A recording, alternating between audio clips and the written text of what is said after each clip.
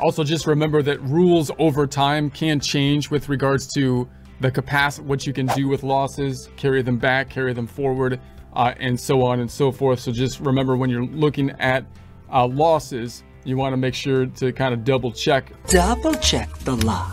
Uh, where you stand with regards to the type of loss and what your ca capacity to do with the loss is. And again, the tax software is often a useful guide to help you with that.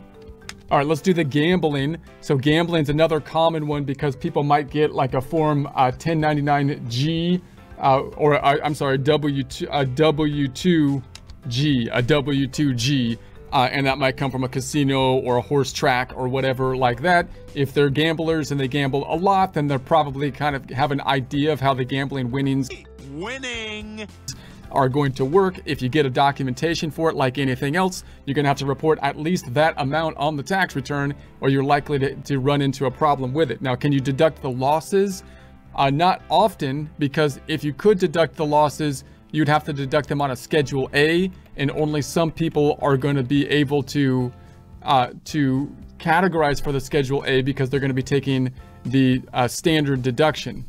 So, so, and the losses are typically just limited to the amount of income that you received as well. So there's a severe limitation in the amount of losses that uh, you might be able to take. Now, if you could claim that you're a professional gambler or something, and if it's a legal activity, then maybe you could do the Schedule C and then have losses, but obviously that's not typically the case.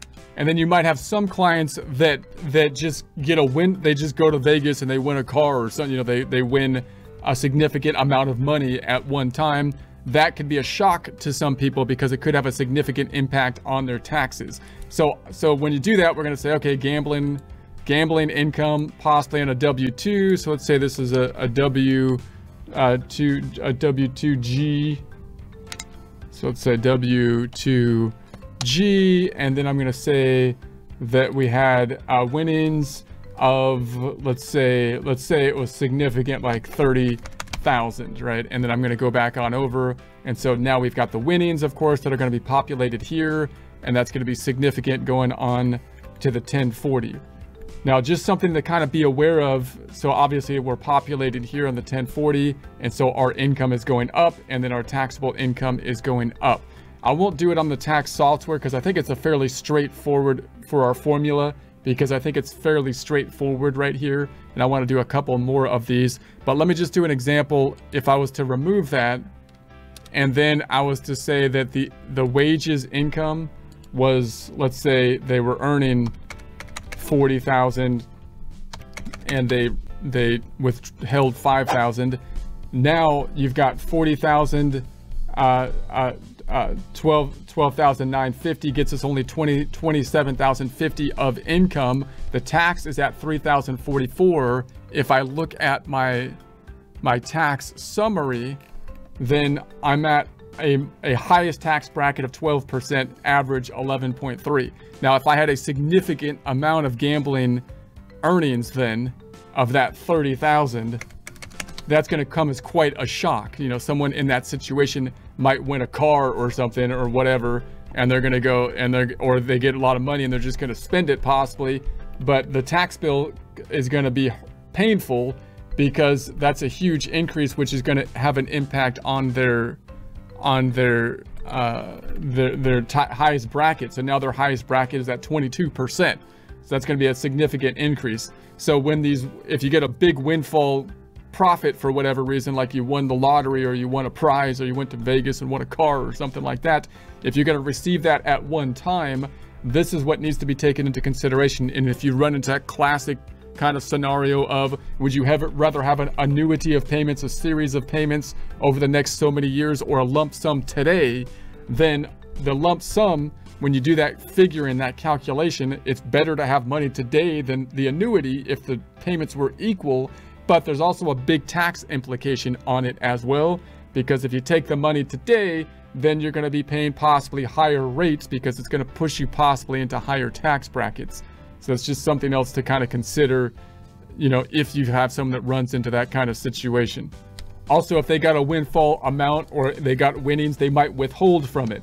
Something that most people don't do, but you know, it would be smart. I mean, you might do that obviously because Now, if, if there's a significant increase to your to your taxes, then you might have to withhold, and you might have to withhold more than even your marginal tax bracket before in order to, to be okay, because now you're going to be taxed at your highest tax bracket, which now in this case got pushed up to 22%. So in the Form 1040, page two, then we'd have our withholdings here from the from the W-2s and then other withholdings.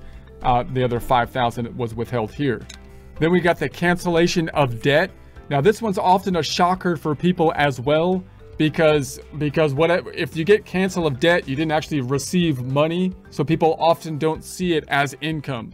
But obviously, if someone if you owed someone money legally and they and you and then they said you don't have to pay me, that's kind of like they gave you money and then you gave it back to them, right? They canceled debt, so that would be an income. So unless there's a rule that says the government, it's kind of like the government, it's the same standard rule for income, unless there's an except, exception, which there often could be, because most of the time when debt cancellation happens, it's going to be, it's going to be because people are insolvent, incapable of paying the debt, then you would have to include it in income.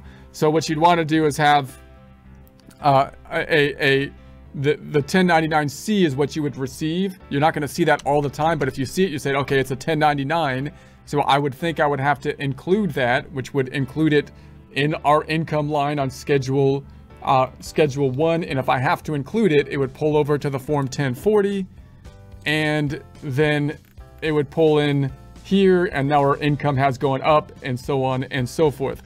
Now, next we have the foreign earned income exclusion from Form 2555. And again, that's more of a kind of specialty area. So if you have people, like I said, if you're a professional tax preparer, you might specialize in people that are in the same state. And that might be some cheaper in some ways as well to do the tax preparation and get software for it. Or people that are in multiple states or possibly people that have are have income from multiple countries. Obviously, when you have different taxes from uh, different areas, there could be there could be a possibility for double taxation, and the United States could have agreements with other uh, other governments in order to to not have a situation of double taxation and whatnot. And then you can dive into basically the detail on that, possibly by going to the form 2555, which is right here.